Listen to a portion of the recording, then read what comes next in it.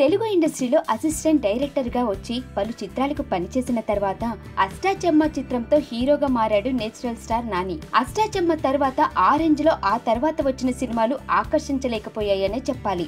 ఇక పిల్ల జమీందారు సినిమాలో నాని నటన చూసి అందరూ ఆశ్చర్యపోయారు. అప్పటి నుంచి మనోడి అదృష్టం తిరిగిందనే చెప్పాలి. రెండు వేల పదిహేనులో జెండాపై కపిరాజు ఎవడే సుబ్రహ్మణ్యం బలబల మగాడిపై సినిమాలతో వచ్చి వరుస హిట్లు అందుకున్నాడు. ఇక రెండు వేల పదహారులో కృష్ణగాడి వీరప్రేమగాథ జెంటిల్మెన్ మజ్ను వంటి ప్రేమ కథలతో సూపర్ డూపర్ హిట్లు అందుకున్నాడు. ఇక ఈ ఏడాది ఇప్పటికే నిన్ను లొక్కల్ నిన్ను కోరి రిలీజ్ అయి బ్లాక్ బస్టర్ హిట్స్గా నిలిచిన సంగతి తెలిసిందే కదా. ప్రస్తుతం టాలీవుడ్ ఇండస్ట్రీలో వరుస విజయాలతో నాన్ని దూసుకుపోతున్నాడు.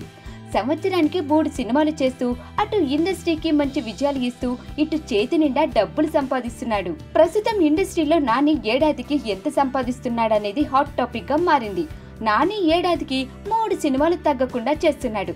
ఈ లెక్కన ఒక్క సినిమాకు ఐదు నుండి ఆరు కోట్ల రెమ్యునరేషన్ తీసుకుంటున్నాడని సమాచారం. ఇక ఈ లెక్కన మనోడు ఎంత లేదన్నా పద్దెనిమిది కోట్లు సంపాదిస్తున్నాడని సమాచారం. ఇంకా అంతకన్నా ఎక్కువ సంపాదించిన అతిశయోక్తి లేదు. అంతే మరి దీపం ఉండగానే ఇల్లు చక్కదిద్దుకోవాలని సామెత కూడా ఉంది కదా. అదే పాటిస్తున్నట్లున్నాడు హీరో నాని. ఇక ఇప్పుడు నాని చేతిలో మరొక రెండు సినిమాలు కూడా ఉన్నాయి. అవేనండి కృష్ణార్జున యుద్ధం మరియు ఎంసీఏ మిడిల్ క్లాస్ అబ్బాయి. ఈ రెండు చిత్రాలు నానికి ఎలాంటి బంపర్ బొనాన్జానిస్తాయో చూడాల్సిందే.